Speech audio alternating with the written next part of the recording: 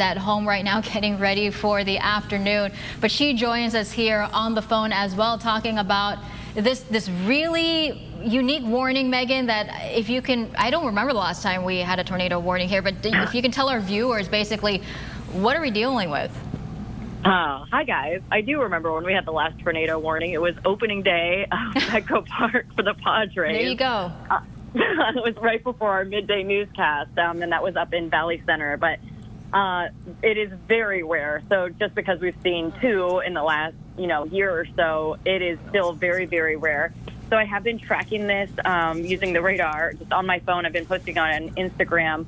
So the curvature uh, has been weakening. So that is some good news. So Jared was mentioning the rotation. So this storm system originated further to the south. Um, it was just north of the Bonita area, and that's actually when it had the greatest amount of rotation with it.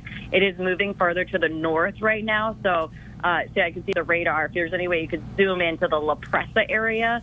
So that's kind of the cell that had the rotation with it. You could actually see a really nice notch in the um, radar that has subsided significantly. So that is some good news. We do have about 15 minutes left to go on this tornado warning. It is moving in that uh, northwest direction. It's headed up towards Spring Valley, towards El Cajon. But like I mentioned, I think the big takeaway here is that the rotation, it was actually pretty defined. So actually, right, right, I emailed you guys and I posted on, on, on social media the marine weather warning was issued for this same storm system. And I was like, you know what? There's like a little bit of rotation with that. And then within a couple of minutes, the National Weather Service issued that tornado warning. So Again, the rotation has improved quite a bit. It has weakened quite a bit, but we're still in this tornado warning, and you should still take precautions. And Megan, I think it's important to point out also, and maybe you can explain the difference between this. This is a radar-indicated tornado That's warning, right. as opposed to a visually indicated tornado warning. What's the difference between the two, and why is that significant for a storm like this? That's right. Um, so a radar indicated means that we are seeing rotation on the radar not that somebody has seen a tornado. So this is a tornado mean, warning means that a tornado is possible, but it has not been. Oh, and they just extended it. it looks like a new tornado warning, so they should have mm. just popped that on um, until 12:45, the National Weather Service. So a radar indicated tornado warning means that not necessarily that a tornado has happened or is occurring right now, but there is rotation and it is possible that a tornado could um, form. So uh, if you want to pop up the new wa- warnings, a new tornado warning was just issued. Uh, it's moving north. So that cell that is right near Spring Valley and headed again towards like El Cajon and then onto Bostonia. Oh, the radar just updated.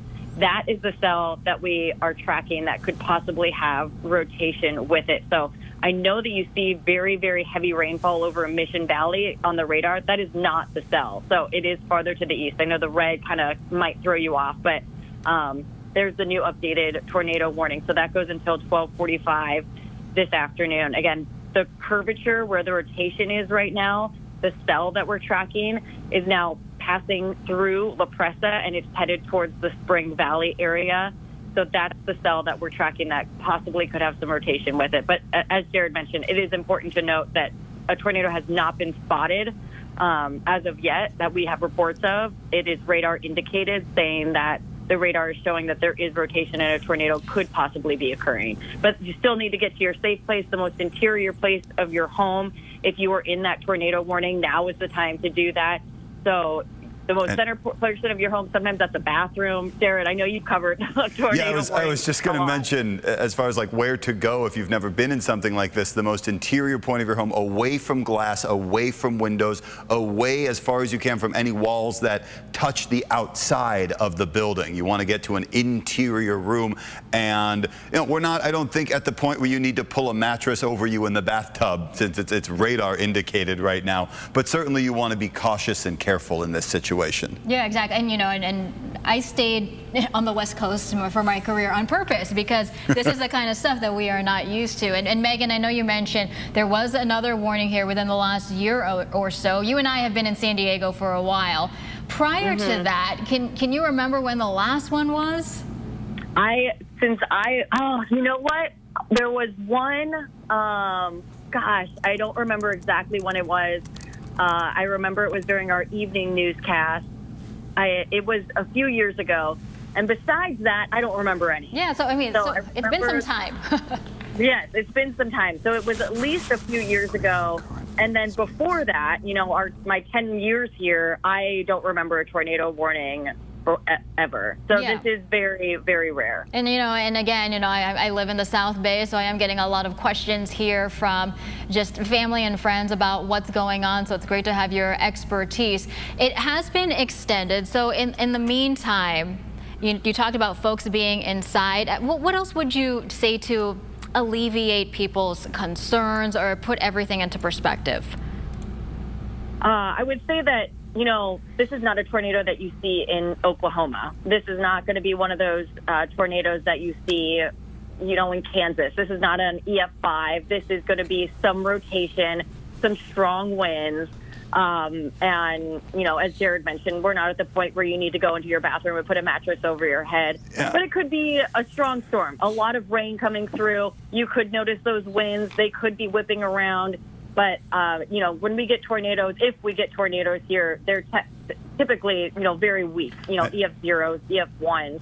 Um, and we really actually won't know if there's been a tornado unless somebody spots it until tomorrow when the National Weather Service goes out and, and does a survey for it. And even right now, Megan, as you were talking about, we pulled up the current wind speeds, and, and you're right. We're seeing 13 miles an hour in El Cajon, 17 miles an hour in San Diego, other parts of the county not even registering, uh, just calm. And that kind of shows how isolated this cell is as it moves through just that specific area where it's affecting right now. But National Weather Service still, in its warning, is saying there is the threat of flying debris from the winds and the rotation. There is the threat to things like mobile homes that could be damaged, roofs, windows, vehicles, tree damage, all of that. Uh, so even if we don't see that kind of spout, that, that rotational spout of a tornado, there's still the threat of winds as they pick up when the mm-hmm. storm moves through. Something for people to, to understand. This is not to cause a panic. This is just to raise awareness of what is possible because of what the radar is seeing right now.